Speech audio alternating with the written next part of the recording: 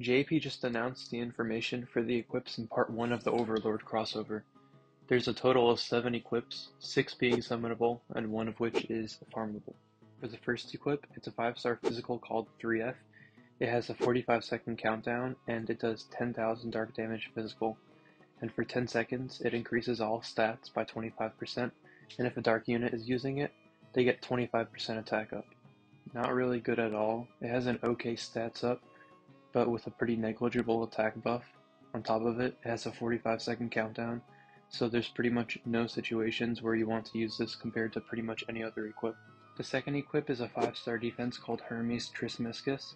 For 20 seconds, all allies get 25% damage resist, and for the first three uses, it has an additional 25% physical resist, with a countdown of 35 seconds. This equip is actually really strong because not only does it provide 25% damage resist for all allies for 20 seconds, but the first three times have an extra 25% physical resist, meaning it's a total of 50% damage resist for the entire team from a single equip. It makes sense why they had to limit the number of uses of it, otherwise it would have been straight up broken. But with how good this is, it's definitely going to be seeing use in really hard pieces of content that need physical resist. If you were to use this on Albedo at her best, she would be giving the entire team 160% damage resist, almost enough to survive Ganon's final nuke without even having a tank. For Albedo's other equip, it's a 4 star defense called Albedo's Close. With a 40 second countdown, its effect increases all allies' crit damage resist by 30% for 15 seconds. Definitely not a terrible equip, not as broken as the other defense equip, but it could see some use. The 40 second countdown and the fact it's tied to crit kinda hurts it a bit, and you'd probably be better off using something free like Siegel anyways. The next equip is the 5 star magic called the Dropper Transformer. With a 55 second countdown, it does 7700 light damage magic, and for 10 seconds, it increases your own crit rate by 100%. And if your health is higher than 80% for 10 seconds, it increases your own crit damage by 60%. Not a terrible equip, it's able to provide 100% crit, albeit with a 55 second countdown, and the 60% crit damage when above 80% health is pretty sizable. It meshes well with Shalltear's kit pretty good, allowing her to have crit if she's below 70% HP and giving her crit damage if she happens to have more health. For Shalltear's next equip, it's a 5 star magic called Shalltear's Umbrella. It has a 50 second countdown and does 7000 light damage magic, and for 12 seconds, it increases your own magic damage by 50%, and it reduces the enemy's light resist by 30%.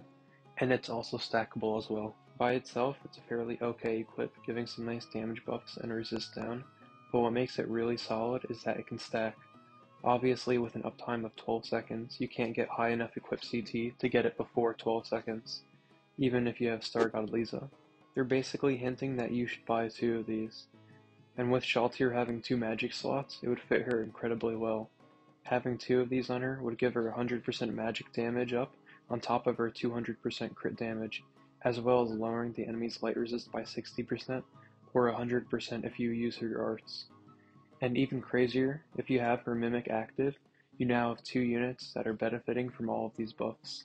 At this point, I'm kind of worried about how much damage she's going to be doing, because it seems like she has everything to be an overpowered, independent magic damager, and with these equips on her, She's most likely going to outperform Fire Orville in terms of damage without any help. For the last banner equip, it's a 4 star physical called Shalltear's Close. It has a 45 second countdown and does 4000 light damage physical.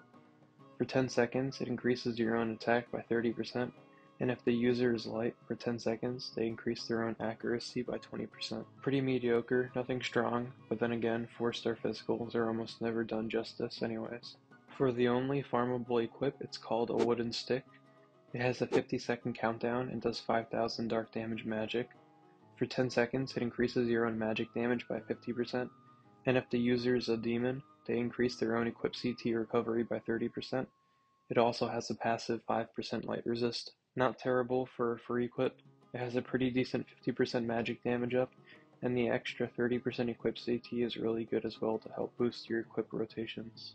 Overall, there are some pretty solid equips on the banner, with the best being Hermes Trismegistus, just for the fact that it gives the entire team 50% damage resist three times, which is absolutely insane.